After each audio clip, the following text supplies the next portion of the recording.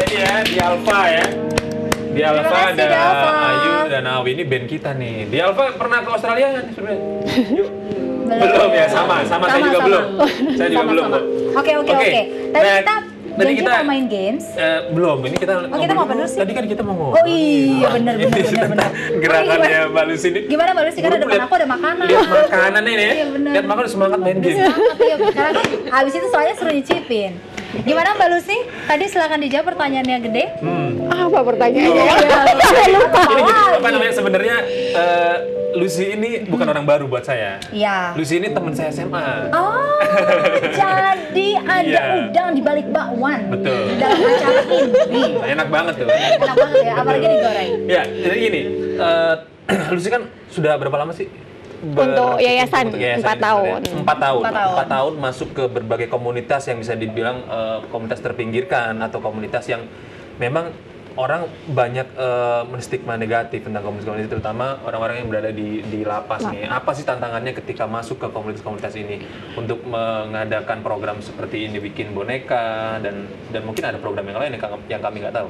Oh, kalau tantangannya sih kalau untuk ke merekanya lebih nggak ada ya, karena kan kayak di lapas itu sekarang mereka itu rata-rata kena korban narkoba. Narkoba. Ya, jadi ini sebenarnya kan terapi untuk mereka.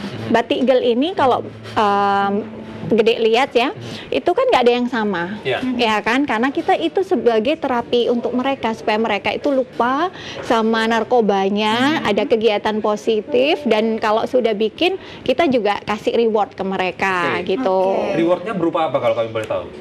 Uang. Uang, Jadi ya, mereka kita ada salary ya. artinya itu sangat membantu Iya, kehidupan iya, mereka secara iya. langsung ya. Iya. Nah, ada nggak cerita-cerita yang bis yang bisa jadi tidak terlupakan dalam kehidupan eh, Lucia ketika eh, masuk ke komunitas-komunitas tertentu untuk ngajak mereka eh, ber- lebih berkarya gitu. Oh iya, jelas rata-rata kan yang terkena narkoba ini anak-anak muda. Hmm. Terus mereka kok tahu-tahu udah nyas ka- nyasar lah ya ke Ya. penjara. Ya. Jadi banyak yang bu- mau bunuh diri gitu. Hmm. Bahkan kan eh, rata-rata juga bukan hanya dari Indonesia, ada yang dari negara-negara lain juga yang ikut program ini. Jadi eh, apa kita membantu mereka supaya mereka bisa melewati masa-masa Hmm. sulitnya. Oke, nggak apa-apa di penjara, tetapi kita bisa kok ada cara untuk anda masih bermanfaat buat saudara-saudara kita yang di luar sana. Jadi akhirnya mereka rilis kan Oh, gitu. depresinya. Ya Dan kan juga tiap hari satu Jadi- persatu. Iya. gitu ya. Ketika kehadiran Lucia di di di napi di lapas nih misalnya, jadi jadi tempat curhat juga ya buat mereka. Iya, dan saya juga sebagai pengusaha ya, itu eh, amazed banget sama kerjaan mereka gitu. Nggak nggak percaya mereka itu bisa waktu awal kita sempat supervisor saya aja bilang yakin mereka bisa ngerjain ini. Mhm. Saya bilang ya kita kasih kesempatan dan saya kasih kebebasan bahwa silakan eh, membuat boneka secantik mungkin mempresentis mempresenta apa Mempresentasikan gitu diri mereka lewat Ya, boneka lewat ini boneka. ya. Jadi Boneka. kita punya punya eh, dua rule. Yang Hmm. pertama satu bo- boneka itu tidak boleh sama. Mhm. Yang kedua Dengan Sama kawan-kawan yang lain ya, Iya, nggak boleh sama nih. Baik baju sama. atau hias aksesoris lain gitu Iya, nggak boleh sama, nggak ada yang Oke. sama gitu. Oke. Jadi mereka tiap hari berpikir, Hmm. kreativitas kreativitasnya kan jadi timbul. Heeh. Terus yang kedua, kalau sama, mereka kan tidak dapat salary. Jadi Oh, harus gitu? berkomunikasi. Kamu bikin apa? Kamu bikin apa? Yang, gitu. yang eh, sebentar, Unik yang ya. mereka bikin adalah baju-bajunya. Bajunya. Oh, Bajunya. Jadi ya. ketika datang ke sana sudah eh, dimodalin dengan Udah, boneka, semua modal kain. sudah, kain, Ya. box, semua aksesoris ya. Eh, jadi kita ada tiga, tiga penjara yang sudah di- memproduksi boneka ini di rutan Pondok Bambu, Lapas Barelang, sama rutan Batam. Wow, luar biasa sekali ini. Ini artinya apa ya? Di balik sebenarnya kegiatan seperti ini kita nggak nyangka ada Iya. sebuah misi tertentu untuk apa namanya stress release atau apa ya? Sebuah sebuah cara untuk Ba- ya, banyak terke- banyak lebih dari sih. itu lebih produktif jadinya betul orangnya betul ya. sekali betul sekali apalagi kalau misalnya yang tadi gitu Mbak Lucy bilang yang namanya anak anak muda Iya. perempuan ada di dalam sana pasti Sampai banyak ada yang nekat mau bunuh diri. nah itu Soalnya dia. hukumannya lama. Kalau pakai narkoba itu minimal empat tahun. Yang ke- Empat ba- tahun. kecil aja empat tahun minimal. Biasa. Apalagi yang eh, Iya. pasti yang udah itu ya itu sampai belasan tahun. Jadi bisa anda bayangkan bagaimana aset-aset bangsa yang masih Ya. muda belasan Ya. tahun di situ kalau nggak dikasih treatment Mhm. seperti apa jadinya negara Oke. kita. Baik, kalau eh, Mas Kris melihat sosok eh, Lucy ini, Iya. eh, seperti apa nih? Apa kualifikasi yang seperti inikah yang dicari sama Kaos Indi. eh, Kaos Indi? Kira-kira nanti apa sih yang diharapkan dari Kaos ini dari sharing pengalaman ini atau seperti Yeah. apa? Well, I think uh, kalau uh, Mbak Lucia dia, dia uh, contoh bagus sekali tentang orang social entrepreneur ya kan. Uh, tapi kalau di kaos ini itu kami juga mau uh, mempertemukan uh, pemimpin muda yang dari bidang-bidang macam-macam ya. Jadi ada dari social entrepreneur, uh, entrepreneur juga. Oh, jadi bukan hanya untuk aset, uh, bukan hanya untuk pengusaha tapi banyak. Oh, banyak, ada semua, sektor swasta, semua. ada pemerintahan, Pemerintah, ada swasta. uh, dari hak media semuanya. Jadi uh, cross disciplinary uh, conference itu ya ada pandangan-pandangan dari uh, bidang-bidang yang masing-masing. Iya. Ya. Dan yang dicari memang anak-anak muda.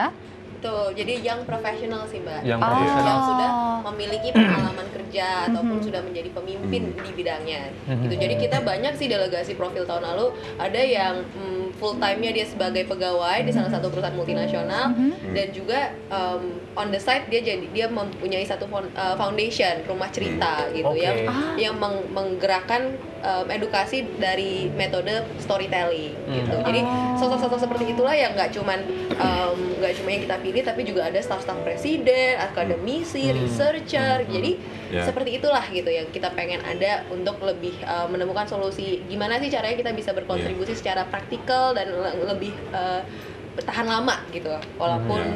turbulusan atau fluktuasi um, pergerakan politik atau pergerakan ekonomi dunia seperti apa. Tujuan utamanya pasti untuk komunitas ya ya, komunitas Untuk kita pertukaran lebih- ide. Pertukaran ide. Betul, Dan- membuka dan pikiran satu kontribusi sama ya, lain. Dan kontribusi langsung. Manfaatnya dua ya. I think kalau di masa depan harapan kami ya uh, orang-orang uh, alumni Kusindi ada yang di uh, peran-peran yang yang penting di, di masyarakat ya mungkin jadi presiden mungkin jadi menteri gitu.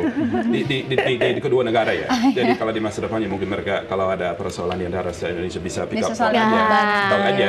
Terus mereka udah ada personal connection ya kan jadi itu satu manfaat untuk konferensi itu. Tapi yang lain uh, uh, sekarang ini juga ada uh, hubungan yang bikin uh, or menghasilkan result yang mungkin tidak diperkirakan. Jadi Ya. tadi bilang uh, juga ada, ada peneliti ada orang swasta. Jadi satu contoh dari uh, kaus ini uh, angkatan 2013 ada satu orang Australia dia peneliti uh, dari ANU dia mau ke Papua. Tapi mungkin kalau Papua ya masih susah masuk ke sana kalau per- orang peneliti ya dari luar negeri. Terus mungkin dia nggak rasa aman.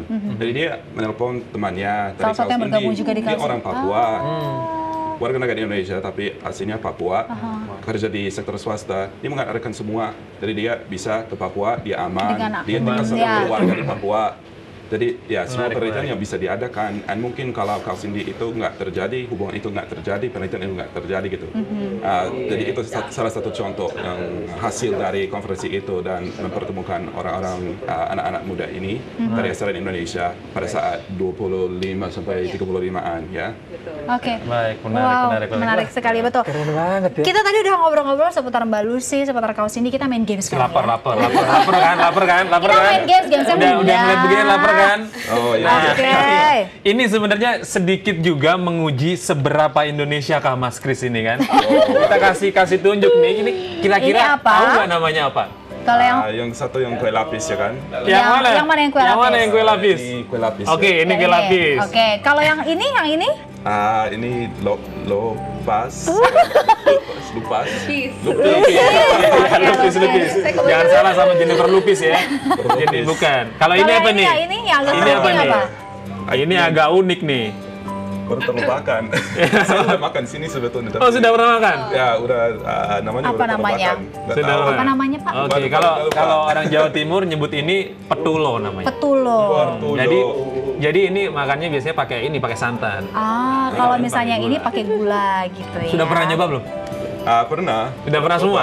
Iya Sudah pernah ya udah kalau gitu jangan kasih nah. Jangan dikasih oke baik pernah. baik. Oh Karena gitu. udah pernah, kan? Nanti nanti nanti kita makan sama-sama ya. Ada games lagi kah? Ya, ada games lagi dong. Ada apa ini itu? kan karena eh, apa namanya Lucy kan akan ketemu dengan eh, apa namanya tokoh-tokoh muda dari negeri kanguru ini dari, Ya. dari Australia nih nah. Ah, ah. Kita akan sedikit tes dong. Oh, Oke Kasih- boleh. kasih tebakan. boleh boleh boleh boleh. Sebera ini ini ada ada tiga ada tiga eh, kata tentang Australia. Aha. Coba sebutkan eh, tiga lah paling nggak tiga dari masing-masing ini ketika kamu terbersit kata ini. Oke. Tiga tiga kata misalnya. Tiga kata yang terlintas di pikiran Anda Hmm. saat saya menyebut kata Australia. Apa tuh? Melbourne, Oke. koala, kanguru. Melbourne koala kanguru. Oke. Hmm. Kalau, kenapa- eh, eh, lanjutnya. Ini masih untuk Lucy? Iya masih Oh, untuk masih sih. untuk Lucy. Oke. Kalau misalnya untuk eh, kata kanguru, Kanguru, eh, ah, maksudnya Tiga apa? kata, tiga aja kata tentang lagi. kanguru. Tiga ke Coba dideskripsikan. Australia, Iya, iya, udah udah tadi. ya kan? Iya. Boleh, nggak boleh Australia, Nggak boleh. Australia, terus apa dong? Banyak. Eh, kanguru Kanguru. besar, ya. terus melompat. Aha. Eh, apa ya? Satu lagi. Tetot. Tetot. Oke. Berkantung. Berkantung. Oh, Oke, ini masih ke Mbak Lucy, habis itu ke Chris atau ke Feli ya ini ya. Mhm. Satu lagi, kalau misalnya Mbak Lucy mendengar kata aborigin. dia ter terpinggirkan. Oke. Hmm, satu. Terus apa? Kayaknya item gitu ya. Dua. Terus saya suka artnya. Oke, Artnya, suka artnya ya. tiga ya. Oke. Kita jeda Eh, iklan tadi, dulu. Itu, itu tadi dari Habis ini? dari apa namanya dari eh, Lucy ya. Kira-kira penilaiannya tentang tembakan Lucy tadi seperti apa, Mas Chris? Cukup cukup baik atau nanti coba nanti coba deh ngobrol lagi sama delegasi Australia yang lain gitu banyak-banyak ngobrol supaya supaya lebih paham. Tujuh, tujuh dari sepuluh. Tuh. Oh, tujuh dari sepuluh. Nah, Oke. nanti kita akan kasih tebakan ke Chris giliran Lucy yang nanti menilai kira-kira sudah seberapa Indonesia kah si Mas Chris ini ya. Tapi iklan dulu kita, nanti kita bahas lagi semuanya hanya di Intermezzo. Banyak info, bikin kepo. Melambung jauh, bersama mimpi Terlelap dalam lautan emosi. Setelah aku sadar diri Kau telah jauh pergi. Tinggalkan mimpi yang tiada bertepi